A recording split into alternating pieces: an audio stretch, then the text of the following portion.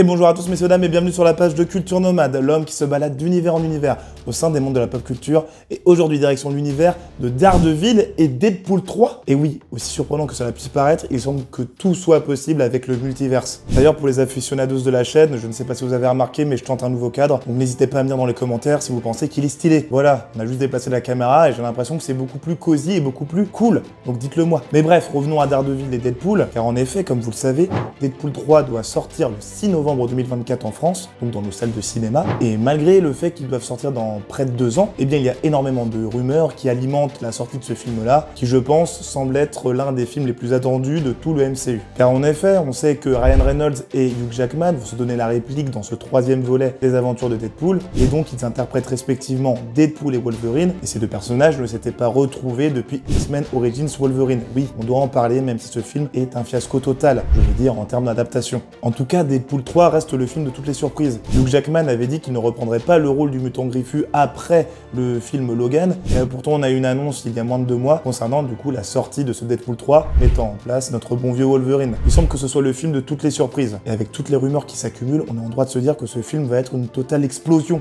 En effet, la TVA qui euh, surveille toutes les timelines du multiverse est censée être présente dans le film. Ryan Reynolds dissémine un peu partout des petits indices d'ailleurs. Il aura notamment répondu à un tweet de Miss Minutes qui est euh, l'intelligence artificielle de celui qui demeure, le invariant de Kang le Conquérant. Et entre ça et la rumeur comme quoi Owen Wilson, qui interprète Mobius, serait aussi présent, il semble que le film Deadpool sera une grosse balade multiverselle. Mais là encore une fois, ce n'est qu'une théorie. Mais bon, qui aurait pensé à ce que Daredevil puisse être présent dans Deadpool 3 À moi en tout cas. Et si vous y avez pensé, bah déjà, bravo à vous. Et cette information ne sort pas de ma casquette, car en effet, c'est l'interprète de Daredevil, Charlie Cox, qui nous dit que c'est tout à fait possible qu'on voit le démon de Hell's Kitchen dans Deadpool 3. Cela nous fait donc poser énormément de questions. On va donc analyser tout ça, mais avant tout, un petit moment pub. Avant toute chose, abonnez-vous à la chaîne, parce que je parle de plein de sujets autour des mangas, des jeux vidéo et des comics. J'ai notamment fait une vidéo toute récente sur Deadpool 3, le secret derrière le retour de Hugh Jackman dans le rôle de Wolverine. J'ai aussi une vidéo sur l'armure la plus puissante de Batman, la Hellbat, ou ce qui semble l'être. Vous avez encore toute l'histoire de Kratos, le tueur de dieu, dispo sur la chaîne, donc baladez-vous. Il y a plein de sujets qui peuvent vous intéresser. N'hésitez pas à aller checker. Maintenant que le moment de pub est terminé,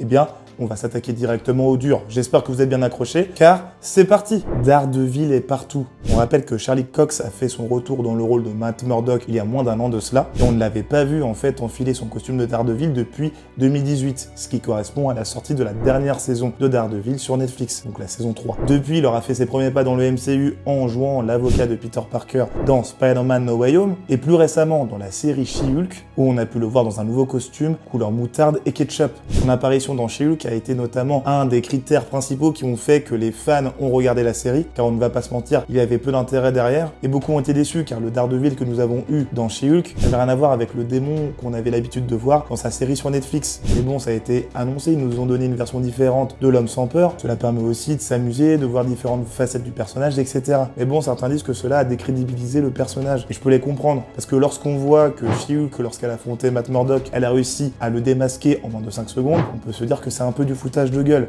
Enfin bref, le personnage était extrêmement apprécié par les fans de Netflix et on risque de le voir de plus en plus dans les différents projets du MCU. Il devrait faire une apparition dans la série Echo, qui est un spin-off d'Okai, et je rappelle que le personnage principal c'est Maya Lopez, qui est la fille adoptive du Kaïd ou du Kingpin, si vous préférez en anglais. Comptez le fait que Matt Murdock va avoir le droit à sa propre série appelée Daredevil Born Again, qui contiendra 18 épisodes et qui devrait sortir au printemps 2024. Donc il y a vraiment une volonté de Kevin Feige d'introduire beaucoup plus ce personnage urbain dans l'univers du MCU, et ce n'est pas plus mal. D'ailleurs, l'ambiance de Daredevil Born Again devrait être très proche de celle de Deadpool 3. Je m'explique. En effet, comme je vous l'avais dit, Charlie Cox a fait une annonce récente. Il a en effet dit lors d'un panel se déroulant à la German Comic Con, à cause du ton de notre série, je pense qu'il y a une place pour que Daredevil puisse apparaître dans Deadpool. Ce serait vraiment cool. Rien qu'en disant cela, bah effectivement la foule était en délire. De simples phrases, et c'est bon, les théories, questions et autres commencent à affluer dans nos têtes. Ces phrases font donc énormément réfléchir parce que si on se dit que le ton est le même que Deadpool, cela voudrait potentiellement dire que dans Daredevil Born Again, on aurait affaire à de l'humour noir continuellement, comme ce que nous a montré les deux premiers volets des aventures de Deadpool, mais on peut avoir peur du fait que Daredevil puisse être à nouveau dénaturé. Là où She-Hulk avait présenté un Daredevil plus rayonnant, Deadpool pourrait le pousser à faire de l'humour noir qui ne lui correspond pas forcément non plus, bien que ça tente plus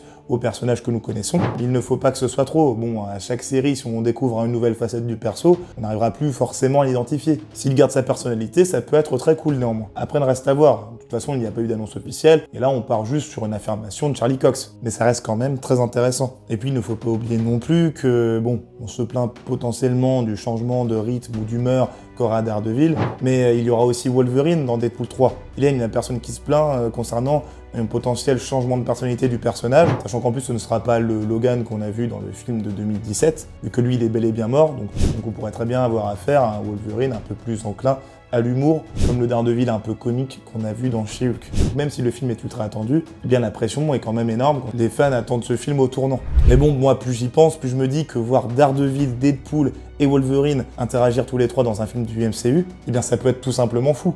Ce sont des personnages de live action Marvel qui ont extrêmement marqué les fans et qui sont aussi énormément appréciés. Et on sait que tous les trois, ils ne font pas dans la dentelle. Sachant qu'en plus, normalement, Deadpool 3 sera R-rated. Et eh bien voir Daredevil casser des bouches de manière encore plus violente que ce qu'on a vu dans sa série éponyme, ça pourrait être incroyable. Clairement, on a envie que ça arrive maintenant. Après, cela fait poser aussi beaucoup de questions sur la manière dont tout cela sera amené. Parce qu'encore une fois, avec Scady Cox, on peut se demander si le multivers aura un poids dans Daredevil Born Again, si le démon interagira avec d'autres personnages venant d'autres univers. Imaginez un Ben Affleck Daredevil qui apparaît dans la série. Bon, tout totalement euh, fantasque, mais imaginez quand même, ou du moins Deadpool. Tout est possible, les gars, tout est possible. Je vous rappelle que c'est la saga du multivers. Et bon, j'espère qu'ils vont pas trop partir en cacahuète non plus, sinon, euh, bah, il y aura plus aucune cohérence et on va vite se faire chier. S'il faut une série en mode euh, cohérente et originale comme Loki, je suis Yankee. On espère en tout cas que Daredevil Born Again ou Deadpool 3 répondront à la question qui est est-ce que le Matt Murdock que nous voyons dans l'univers du MCU est le même que celui des séries Netflix? Pas parce qu'on a eu la petite musique dans chez Luke qu'on peut se dire que c'est lui. Donc voilà,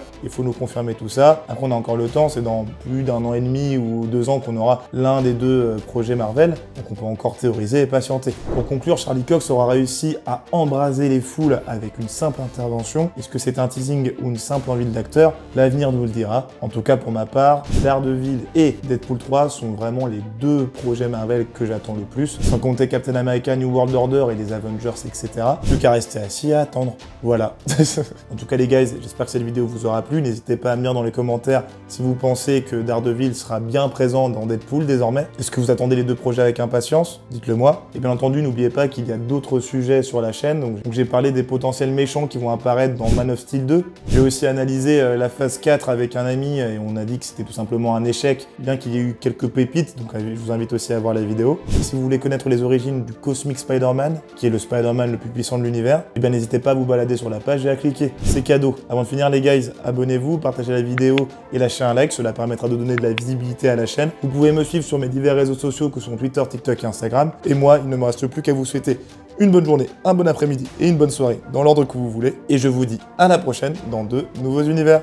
Salut